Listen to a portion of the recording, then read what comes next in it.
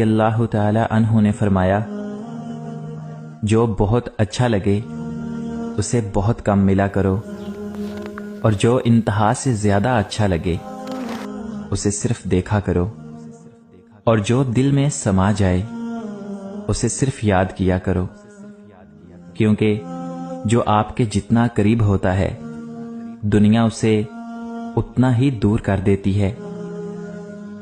अपने बच्चों का बोसा लिया करो, क्योंकि तुम्हें हर बोसे के इव्ज जन्नत का एक दर्जा मिलेगा। अच्छे लोगों का तुम्हारी ज़िंदगी में आना तुम्हारी किस्मत होती है, और उन्हें संभाल कर रखना तुम्हारा हुनर। हर चीज़ किस्मत से नहीं मिलती, कुछ चीज़ें दुआओं से भी मिला करती हैं। हर उस दोस्त पर भरोसा करो जो मुश्किल में तुम्हारे काम आया हो।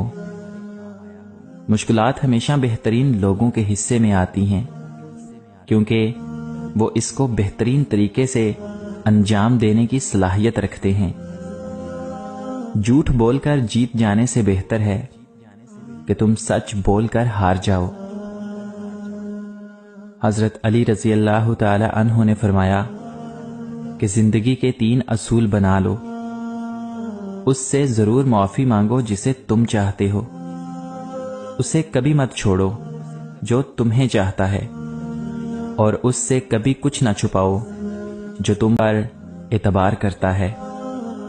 हज़रत अली रज़ी अल्लाह तहों से किसी ने पूछा, अगर कोई अपना हमें भूल जाए तो क्या किया जाए? शेर खुदा ने फरमाया, कोई अपना हो तो वो कभी नहीं भूलता, और जो भूल जाए, वो कभी अपना नहीं होता। औरत तब बर्बाद होना शुरू होती है, जब उसके हुस्न की तारीफ़ एक गैर मर्द कर रहा हो। दोस्त को दौलत की निगाह से मत देखो, क्योंकि वफा करने वाले दोस्त अक्सर गरीब होते हैं।